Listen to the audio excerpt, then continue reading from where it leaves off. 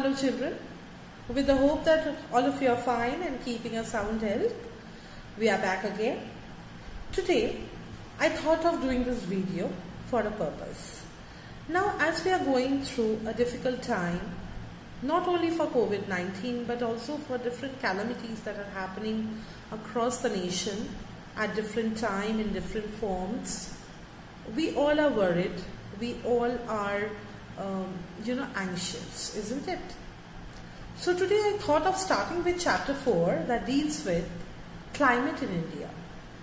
Now you need to know about our climate regime, our climatic characteristics, only to understand better about our livelihood, our food, our clothing and everything else.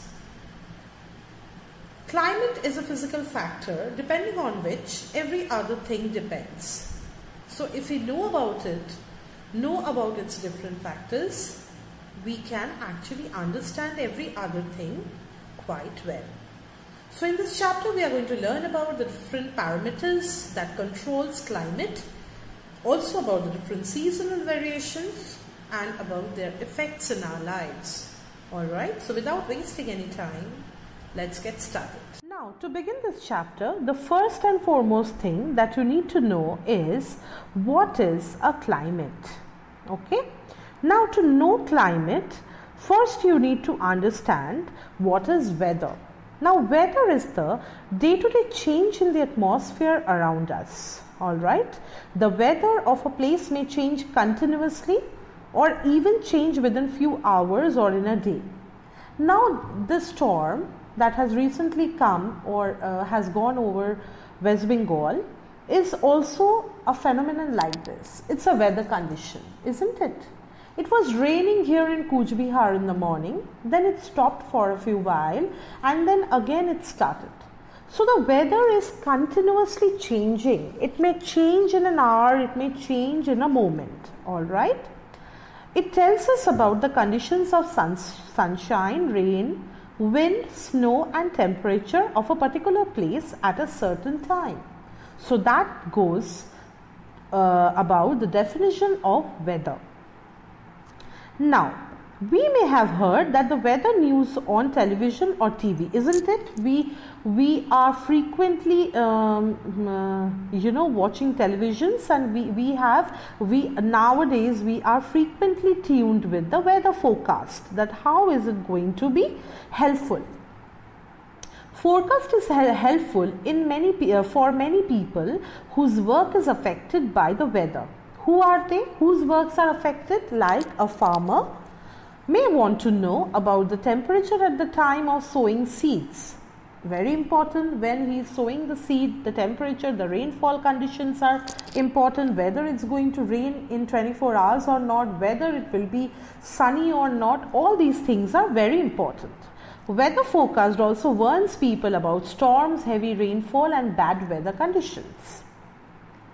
Alright, so weather of a place uh, weather is always concerned about a smaller place and it may change depending on the various parameters that depends okay? They are rainfall sunshine water vapor etc now what is climate the weather conditions of a large area over a long period of time is called its climate so climate is again concerning over a long area. It is not about a small area and the prolonged weather condition of a place for a long period of time is called climate. So when we actually observe the particular weather regime of a place for a quite a long period of time in meteorology we take it as 35 years if the weather conditions of a place remain constant for uh, almost 35 years then we categorize it as a particular climate all right for example, Jaisalmer in Rajasthan, it is a place that is mostly, um, you know, mostly have a dry climate, okay? And a place that stays cold for most of the year has a cold climate. For example, Ladakh. All right. The climate of a place influences the lifestyle of the people living there. How how how they influences?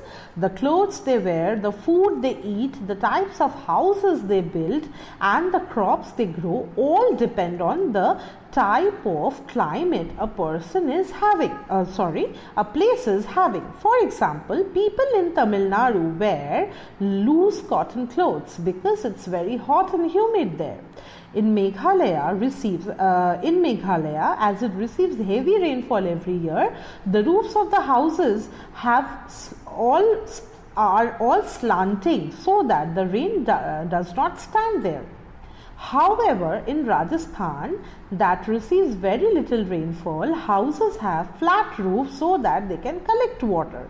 So you can see as I told you before uh, in the introduction that depending on the climate every other thing in our lives varies. The house we will make, the uh, the food that we will eat, the crops the farmer will farmer will uh, farmer will go, everything will depend on climate. In Rajasthan as the uh, as they receive very little rainfall they have flat roof for the provision of storing water. They call it water harvesting. As it is very dry they need water for the dry months okay? Again in Meghalaya in Assam which receive quite a lot of rainfall the houses are all slanting so that the rainwater cannot stand and can sl slide away. Slide down all right now, coming to the climate of India, how is it?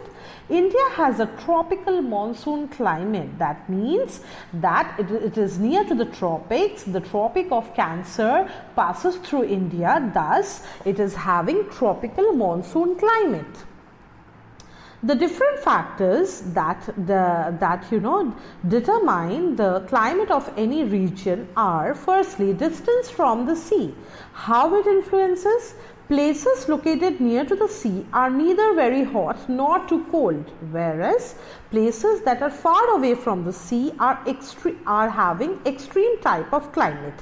Take the example of Delhi. Delhi is very cold during the winter months and very hot during the uh, summer months. Why? Because it is located quite away from the ocean or the sea.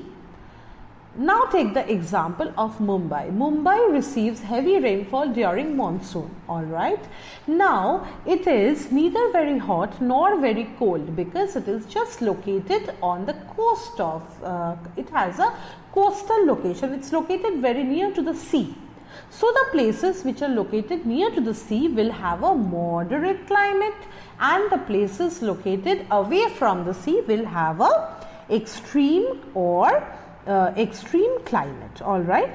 Now secondly altitude of a place. Places that are located at higher altitudes so such as the hill stations in the himalayas are having colder climate than the other parts of the country. Now take the example of Cooch Behar and Darjeeling Cooch Behar is not as, as highly located as Darjeeling. Darjeeling is a hill station located in the middle Himalayas. Okay, so the height of Darjeeling hills are quite more, are lot more than that of Cooch Behar. So Darjeeling is colder than Cooch Behar, isn't it?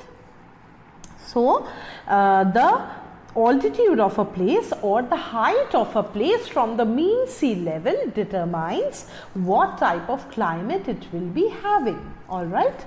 Now in kashmir uh, it uh, you know it's uh, it's always it's snow uh, snow fed isn't it? So it's always snowing here there. But in darjeeling it does not snow all the time. So again the height of kashmir is much more than that of uh, darjeeling you got the difference? Alright. Now, thirdly, direction of wind. Winds coming from the cold regions make a place cold. Winds coming from the hotter regions make a place hot. Winds coming from the sea make a place humid. Such winds have a lot of moisture in them and thus cause rainfall. So, how they affect us? Now, it is the variability of the wind that from where it is coming it matters. If it comes from a cold region it will be cold. If it is coming from a hot region it will be hot. If it is coming from the sea it will have a lot of moisture in them which cause rainfall. And that is the reason mumbai receives a lot of rainfall now, these winds have a lot of moisture in them. So, there are three different factors upon which the climate of a place mainly depends. So, we will stop here. Uh, we have learnt about what is a weather, what are its different parameters, how a weather affect the different people. Then we have seen what is climate, what are its characteristics and the different factors that control the climate of a particular place. Now your main aim will be to read the chapter till here uh, by each and every word and try to understand it alright by listening to the uh, audio. Now on Friday I'll give you the rest of the explanation and also will be giving you the question answers with the spell check. Alright children till then take care have a nice day.